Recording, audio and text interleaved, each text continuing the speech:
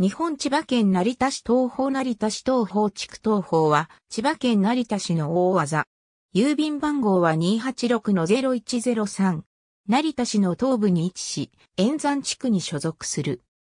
周辺の天神本、川上、市桑田、古込、鳥港と隣接する。大半の区域が新東京国際空港の敷地の一部であり、誘導路などの施設が置かれている。東方は戦後開拓を中心とした地区であり、農家の次、三男が中心となった駒野島開拓組合、伊藤音次郎が飛行機製造工場の社員を率いて設立した恵美開拓組合、安田生命保険の社員らによる省を開拓組合によって開墾された。竹林が生い茂っていたため、開拓地の中でも特に開墾が困難な場所であったという。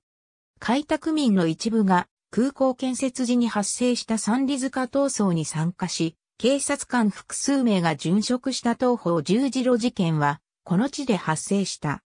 日本国政府と三里塚、芝山連合空港反対同盟の厚田派が、話し合いを行った成田空港問題シンポジウムの後も反対運動を継続する営農者らが存在し、ピーカスソーロの未売収容地や反対運動の象徴となっている東方神社も残っている。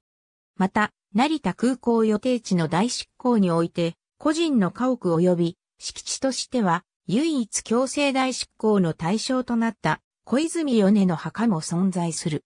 2017年10月31日現在の世帯数と人口は以下の通りである。私立小中学校に通う場合、学区は以下の通りとなる。ありがとうございます。